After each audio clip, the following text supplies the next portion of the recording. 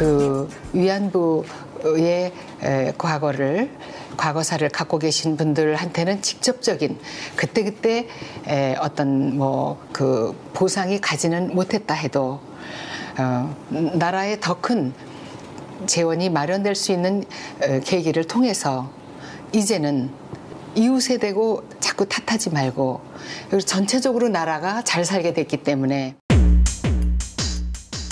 우리 한국이 그동안에 어, 가슴 아픈 얘기를 자꾸 어, 했다 한 것을 우리가 그 위안부의 그, 어, 그 여사님들을 더 잘 챙기지 않고 자꾸 일본만 타박한 그런 뉴스만 나간 거에 대해서 음, 그냥 죄송스럽게 생각하고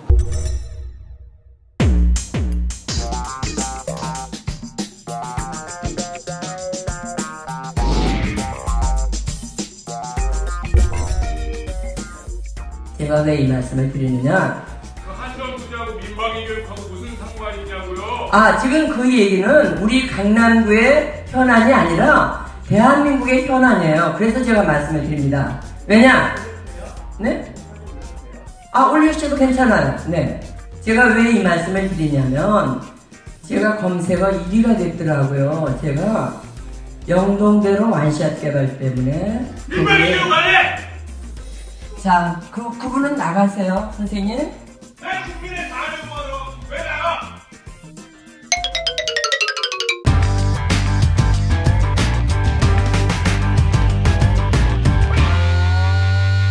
South Korea, crazy is right, right? Who said that? Stand up. Stand up.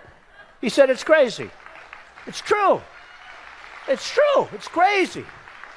They make a billion dollars a day.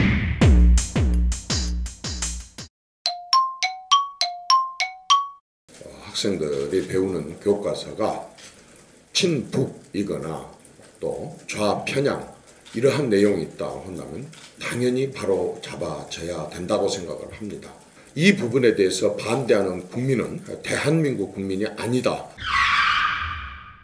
특히 대기업 정규직 강성 노조가 많이 포함된 민주노총의 경우 노사정이 참여도 거부하고 파업을 일삼으면서 자기 밥그릇 챙기기에 골몰하고 있습니다.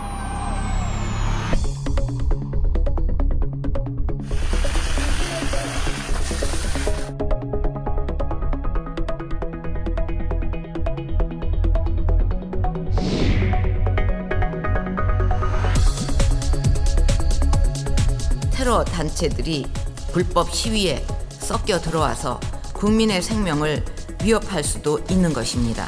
특히 복면 시위는 못하도록 해야 할 것입니다. 아이슬도 그렇게 지금 하고 있지 않습니까? 얼굴을 감추고서.